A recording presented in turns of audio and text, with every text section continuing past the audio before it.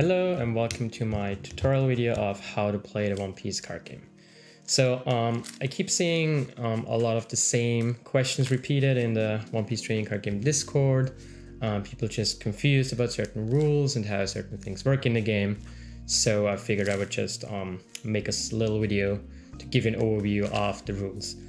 Um, I will make sure to link the rule sheet that we have in the description below. Make sure to check that out.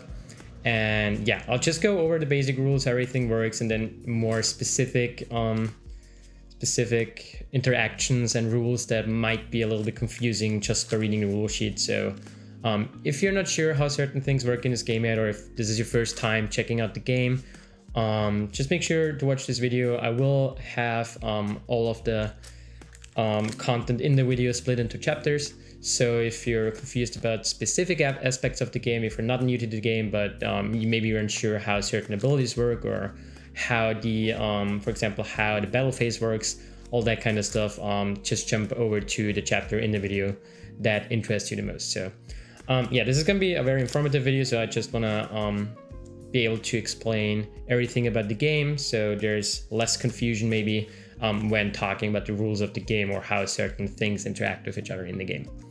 So first thing first, um, I guess um, the important thing is so the game works by having a 50 card deck, a one leader, and 10 uh, uh, um, a deck of 10 Don cards. So the Don cards can be um, thought of pretty much as something similar to um, lands, Magic the Gathering, or maybe even some um, even something that's even more closer would be something like um, the mana system in digital card games, something like um, Shadowverse or Hearthstone or Legends of Runeterra.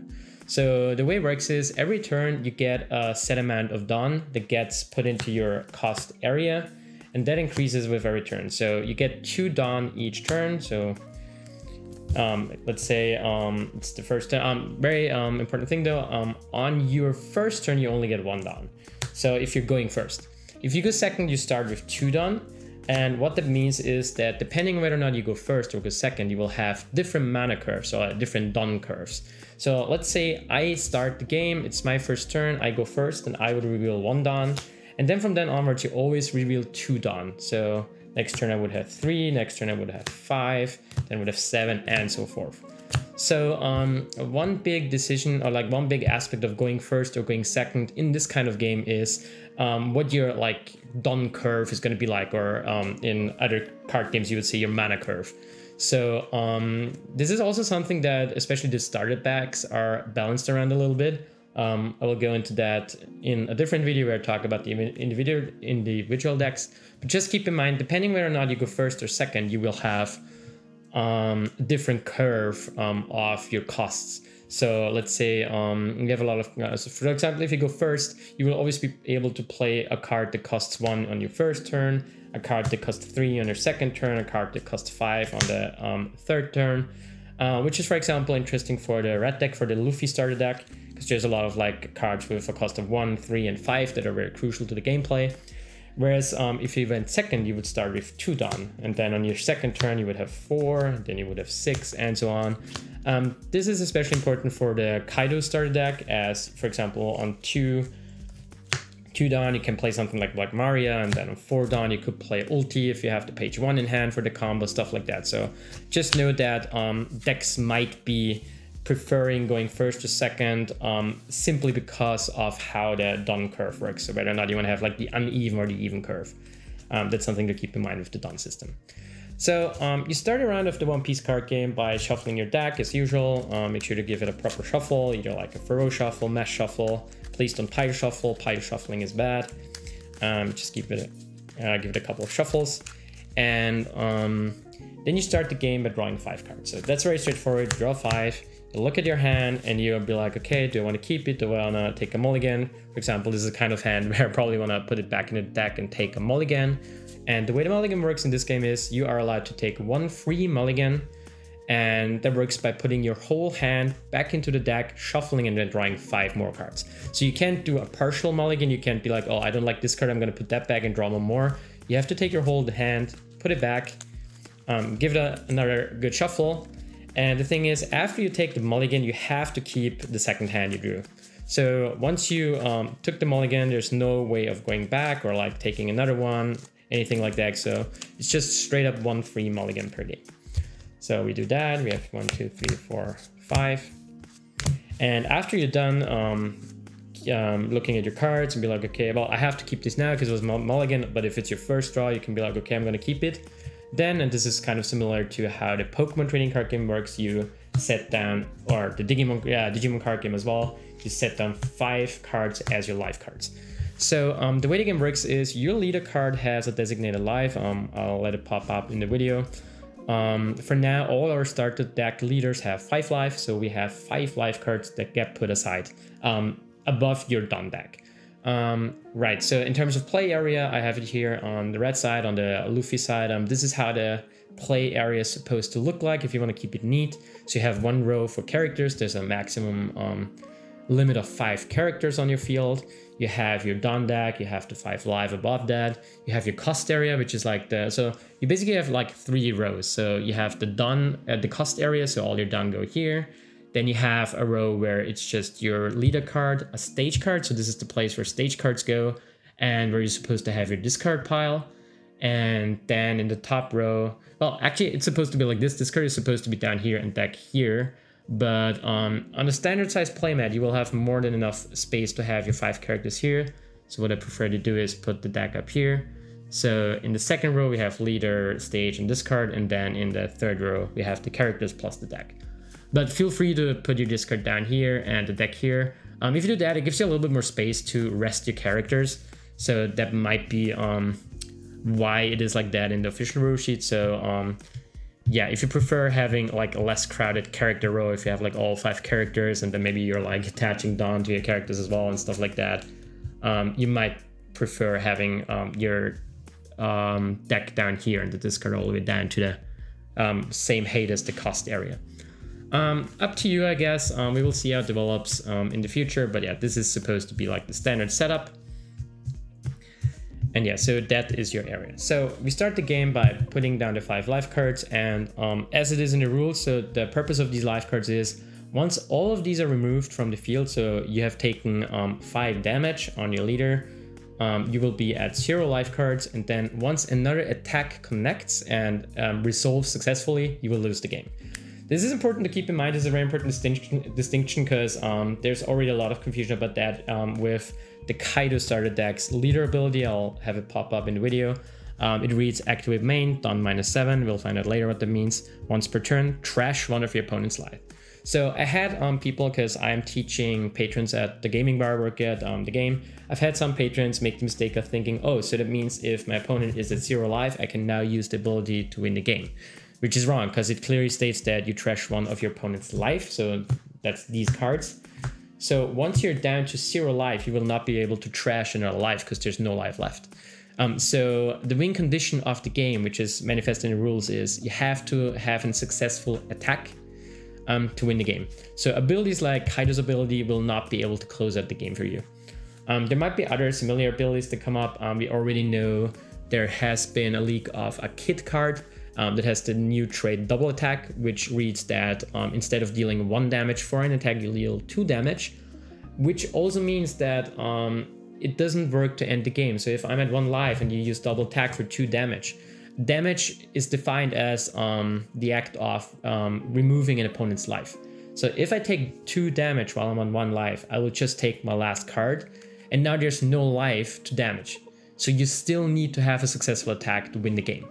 So keep that in mind in thinking about abilities that um, look like they could potentially lock up the game for you. Uh, most likely they will not be able to do that. You always need to have this last attack to actually win the game. It's just a very core concept of the game.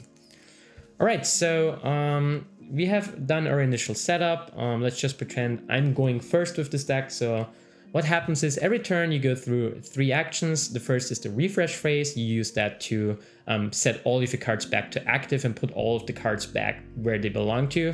So for example, um, in this case, let's say we have our Sanji uh, rested, we have our Luffy rested, and let's say our Nami has two Don attached for whatever reason. Um, first thing is the refresh phase. So what you do is you just unrest everything, you put the Don back where they belong. Let's say those were rested as well. So you put those back, you unrest these, and that is your refresh phase. So basically you just put everything back the way it would usually be when you play it first, unless there might be some conditions later that, um, I don't know, you're not allowed to set X back to active on your turn or whatever. But this is just the standard setup for now. So refresh phase, just um, un um, activate everything again, put all of your Don back to the cost area. Then you draw for turn. This is also something that um, a lot of players keep um, mixing up when you first start playing. Um, the order of like drawing. So the first thing you do is draw a hand card. You don't do it on your first turn going first. Um, so in my case, I would not be able to draw a card right now, so I will not do that right now. And then you reveal cards from a Don deck. In my case, one card because I'm starting.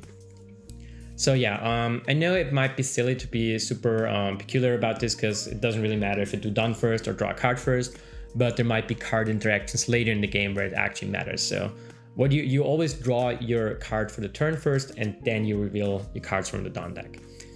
So um, that's the basic like um, start of the turn pretty much. So those three actions, refresh, draw, Don. And then it's your main phase. And the cool thing about this game is that you just have one main phase where you do everything. Um, there's no battle phase, there's no like second main phase, anything like that. You just have the one big main phase and you do all your actions in any order you want to. Um, this is important because um, there might be um, situations later down in the game. Um, very simple thing is, for example, um, let's say Kaido with his ability, trash one of your opponent's life, Don minus seven. Don minus 7 means that you have to put, or like Don minus X abilities mean that you have to put the Don back into your Don deck after you use them. So let's say I have 2, 4, 6, 7 Don here. I say, I want to like, um, you make the most of this ability. The thing about Don minus X abilities is that you can take, this is also very common and question point, Don minus X means you can take any of your Don anywhere on the field. So um, let's say I just have a Sasaki here, and let's say I pay three for that. And let's say I use now my four to attach to my Kaido leader and attack with him. And now I have Don here in um, in my character area or my leader area. I have Don here resting in my um, Don area. And I can now do things like play cards, attack with a character, and then use the ability and use these Don to use the ability because it's any Don in the field. So your order of operations during a turn matters a lot, especially in later um, game states where you have a lot of Don available or um, a lot of characters available, because you can also do stuff like battle and playing cards in any order. So for example, a lot of times it might make more sense to, um, let's say I have a couple of Don down here.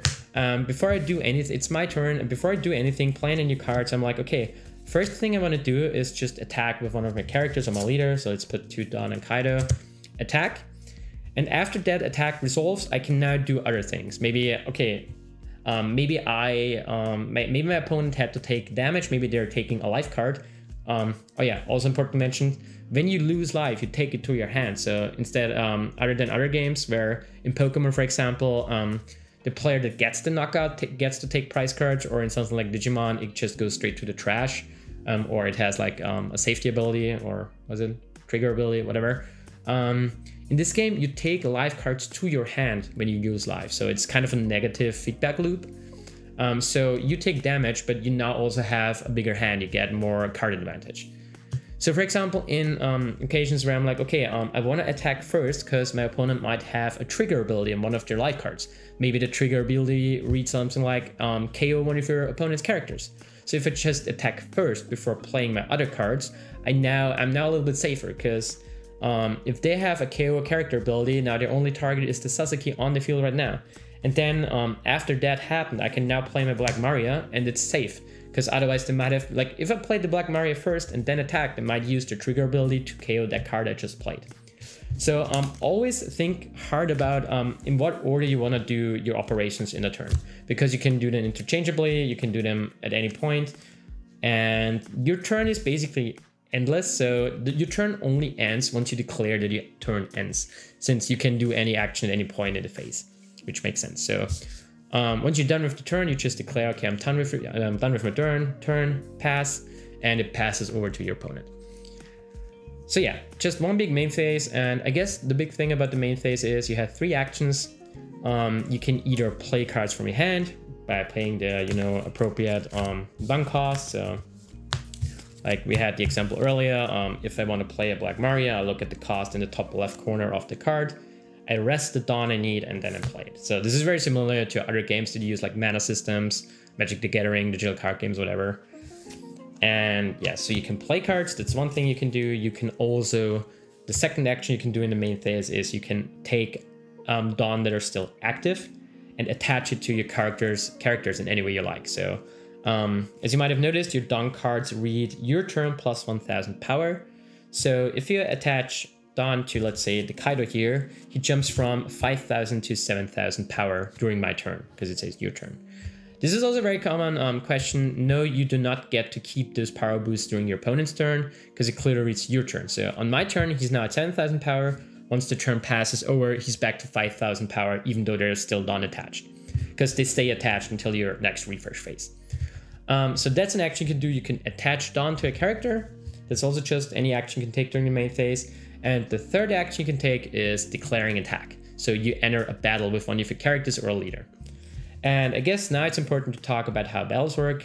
Um, it's quite simple actually. So um, the big thing to know is as the attacker, the moment you declare attack with a character, let's say I want to attack with my Kaido leader, you can only directly attack the opposing, um, the opponent's leader or you can also attack rested characters. So let's say Sanji is rested here. Now I would be able to declare attack onto the Sanji directly. But if there's no rested characters on the field, I now have to declare attack to the enemy leader. And what happens now is you enter the battle phase. So each time you declare attack with a character or leader, you enter a separate phase, the battle phase. And what's important to know is because I've seen this come up um, a few times as well is you declare attack one after another because every each time you declare an attack, you now enter a battle phase and only until that resolved, you can declare attack with another character. So you can't do something like, oh, I'm gonna attack with Kaido and Sasaki. That's not like a what a player you can do. You have to be like, okay, attack with Kaido, the battle resolves, and after it's done, it goes back to your main phase and be like, okay, now I will attack with Sasaki as well. So yeah, um, just be sure to always do your attacks one after another and not like all at once, because that's not how it works. So we enter battle phase by declaring attack. Now what happens is, um, battle is very simple. Um, you just compare your power on your card to the power on the opponent's card. In this case, um, my leader's power and the opposing leader's um, power. And you win the battle by having equal or higher power than the opponent. So if it's 5,000 versus, versus 5,000, um, I would be able to win the battle. Winning the battle um, means in general, so if I attack a leader, winning the battle means um, they have to take a life card or like they have to take damage. So for example, if I have double attack or whatever other trait there might be, um, like the, the, the indicated number of life cards. But yeah, just attacking the leader deals damage to their life. Um, if you attack a character and you win, the character goes to the trash. Um, the other important thing is, so there's like two big things to keep in mind about battles. So the first thing is, oh yeah, right, and you declare attack by, you know, resting your character or your leader. So that's also important. You, the way to declare attack is be like, I will attack. Um, so two big things is the first thing to keep in mind is if you're attacking, your like um, options of interacting with the battle stop the moment you declare attack. So once I declare attack, I as the attacker cannot do like cannot influence the battle in any way anymore. This is very important because I've seen people ask questions like, oh, so if I declare battle and I'm not battling with the opposing leader, can I play cards like, let's say, a Blast Breath, which reads, uh, give up to one of your character leader cards 4,000 power during this battle. Am I allowed to do that? And um, simple answer is no. Um, once you declare attack, you are not able to interact with the battle anymore. Um, this is important because um, um, that means that you always have to think before the battle whether or not you want to use Don to attach to your character leader for the battle, because that's pretty much your only way right now to increase the power of the character. So for example, okay, um, 5,000 against 5,000, I want to be able to um, get the attack through, even though they play cards to prevent the attack from um, uh, uh, from the damage to be done. I could be like, okay, I'll attach 2000, um, like 2 Don to my Kaido before the battle, because that's just an action in the main phase. And now I declare attack, and then it will be with 7000. So yeah, once you declare attack, um, you are not able to influence it anymore in any way as the attacker. So what happens now? Okay, you declared attack. Now um, the defender has two um, phases to go, for, go through. The first one is the block phase, um, we don't have a blocker on the field right now. Let me just fetch um, Chopper real quick. There he is. So the first phase for the defender is the block phase. Um, which is which means that you can now declare a blocker. So a blocker card reads um, blocker when your opponent attacks by resting this card, you can change the attack target to this card. So what this means is um, during the, so once somebody declares attack, so I declare attack with my Kaido, uh, the, the, Luffy player could now be like, okay, I declare block with my chopper because it has the blocker attack, and now the attack will be redirected to the chopper.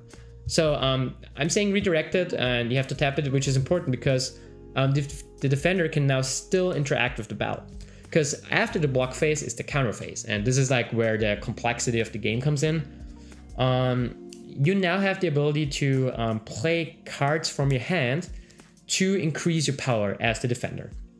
The most simple way to do this is to play cards that have character cards that have the counter little counter tag on the side of the card. So um, I guess I'll show it on the video, but for example, Maria ha Black Maria has it. It's a little um, little tag on the side. A lot of characters have that, and right now we only have characters that give counter plus 1000 and counter plus 2000. So how that works is, okay, it's the counter phase, so red can now um, declare counter. Um, it means now, okay, let's just pretend that I'm still attacking the Luffy. So it's 5,000 against 5,000, uh, which now means that um, the Luffy player would lose the battle if they stay at 5,000. But if they play at least one counter, let's say they have a Karoo on hand, which has the plus 1000 counter, all they have to do now is um, take Karoo from their hand, reveal it, and say, I use Karoo for plus 1000 counter. So you just show the Karoo, it's plus 1k, and then you put it to your trash, which is also very important. So you declare counter, you put it to trash. And what's also important is you do not have to pay any cost to do that. To do that. So any characters you have on your hand with the counter tag, you can always use them to declare counter and boost your uh, defending characters or leaders power without paying any costs. The cost you pay is the fact that you take the card from your hand and you put it in your trash. So um, yeah, so basically you thin down your hand by declaring like counters, which is kind of how the system works and how, you know, the battle interacts, um, like how you interact with the battle. So this is like the big system in the game. So um, you declare attack, you're like, okay, I don't want to take, I don't want to take any live damage. I declare a counter, put it to the trash. So by, so um, what now comes into play is that you have to think very hard about how many counters you can make, because you can commit any amount of counters. Let's say my Kaido has 8,000 attacks, so uh, 8,000 power. So now the Luffy would need to be boosted up to 9,000. So what you could do is you just take, let's say, one Karoo, one Frankie, and one Brook, which is 1,000, 2,000, 1,000, so it's 4k, which is not enough to block the damage. But that means you lose three cards from your hand, which is a lot. So especially in a deck that might, might not have a lot of card draw. So um, the whole battle system is built around the fact that you can always use counter cards from your hand if you choose to do so.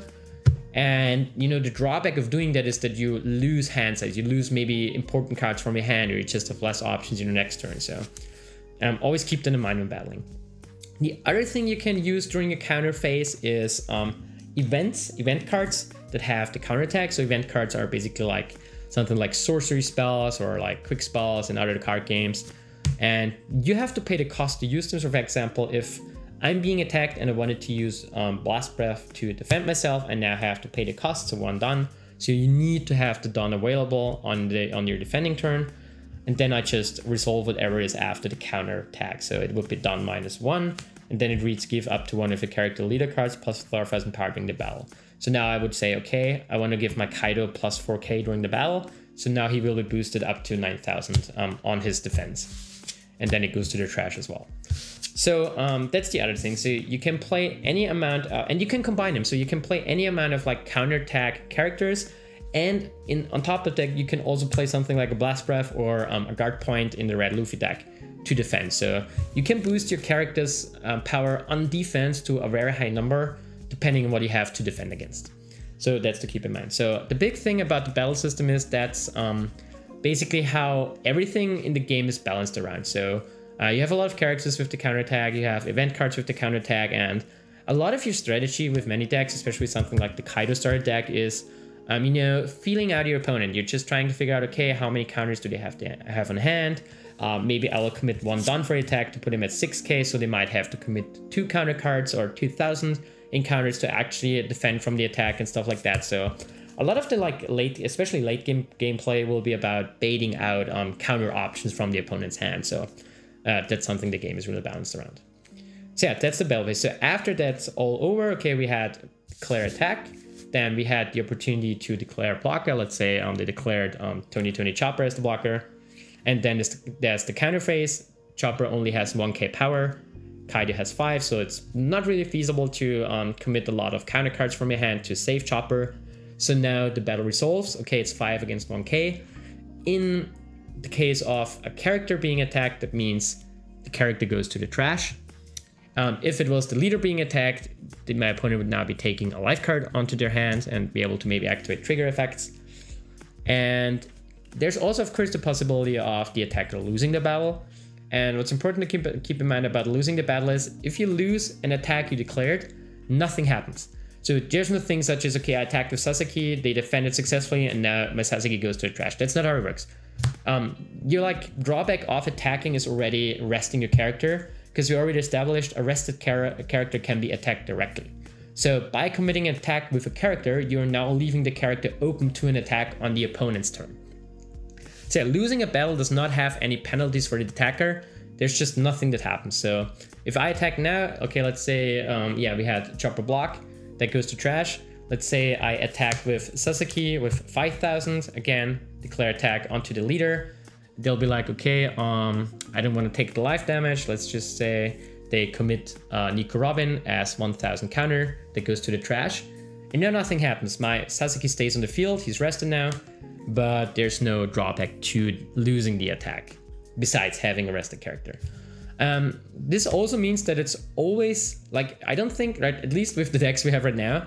There's basically no reason not to try and attack with your leader character uh, with your leader card every single turn, because there's no penalty for losing battles, and you can you always attack the leader anyway, so it doesn't really matter if it's rested or unrested.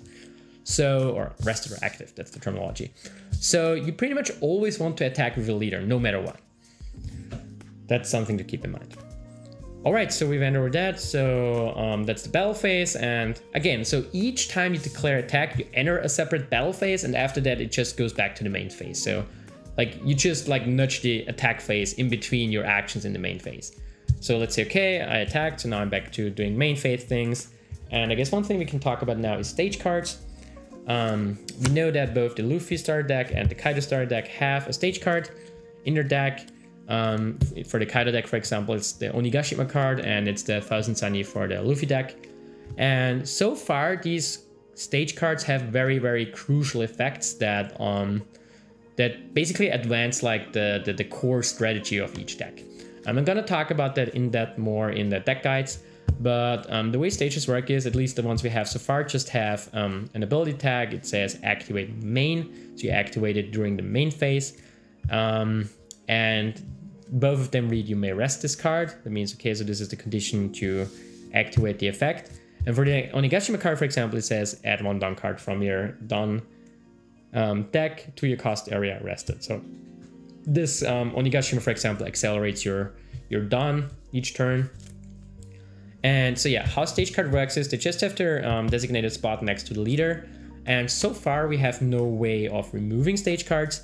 And there's also nothing in the rules about whether or not you're able to replace a stage card by playing another. So let's say you have another Onigashima in hand and you would like in some other games you would be able to play the new Onigashima and remove this one to the trash. But there's no such rule in the game rules so far, so we don't actually know if that's how it works. How it works if you have like two different stage cards in your hand uh, uh in your deck. So none of this is anything we know about currently. So um, our knowledge so far is once you play a stage card, it's there for good. There might be effects later down the line that are able to like remove stage cards from the opponent's side of the field, stuff like that. But so far, um, once you put it down, it sticks there for the rest of the game. So yeah, this is just one of the three type of cards. So we have character cards, we have the event, uh, the the stage cards, and we also have event cards, as mentioned earlier. Stuff like Blast Breath or um, Guard Point. There is of course also event cards that do not have the counter point, uh, counter attack. You play those during your main phase, just you would just like you would play a character. So let's say I will play All-Star Disaster, which just reads main, draw a card, reveal an active Don from your deck, and that's the event. After you play that, it goes to the trash. All right, so that's pretty much all the basic concepts, I believe. So let's go over some more specific stuff. yeah, as I say, so a lot of cards have little tags on them that tell you what they can do, what they can't do. And basically, um, the way it works is like the card itself explains very well what it's supposed to be doing. So, for example, we have a lot of effects that read activate brackets main, which means it's something you can activate during your main phase. Um, then you also have some additional tags. For example, the Kaido ability reads also reads once per turn.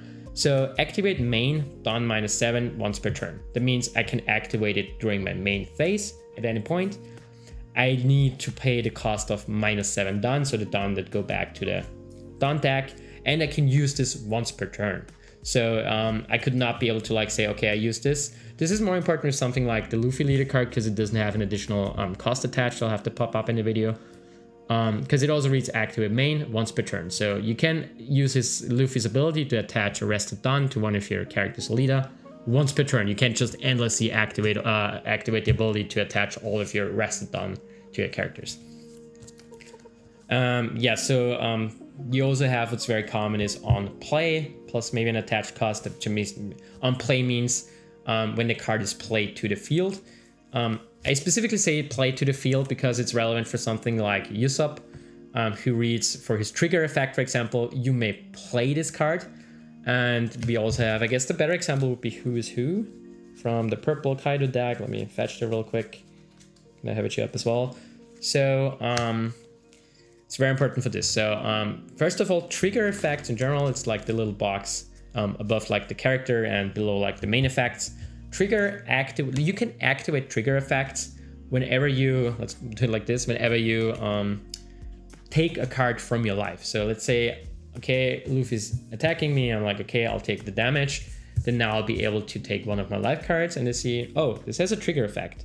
And it says you may play this card very important thing about trigger effects is you don't have to use them like the life cards you take from the life stack is your private knowledge. You never have to inform your opponent of what you just pulled.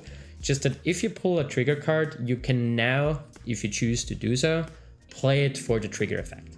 For someone like Who's Who, it says you may play this card, so I'm playing it on my defending turn. And it also has an effect that says on play on minus one. So thanks to the trigger effect, I just played the card and now the on play effect activates. So on play always means when a card hits the field in some way or the other, is what we assume right now. We don't know if this also is the same for cards that may be um, put onto the field from the deck, if that's ever a thing. But for now, our knowledge is on play means when you play the card onto the field, whether or not it is through something like a trigger effect or your hand. On play just means um, you have to pay the costs um, for the ability when you play it. You cannot play it and then choose to do the effect later on. So the moment you play the card, the card hits the field, you can now choose whether or not you want to activate that ability. So we have uh, on play, we have main. Um, the other big thing we have is now the costs. You always have like the them. So basically, effects always have a timing when they happen, and they may or may not have a cost that you need to pay when it happens. So, and this can be combined. So you have cards that have activate main and then attached cost, or you have cards like on play attached cost. So it's always, it's usually a combination of those tags or just one of those tags.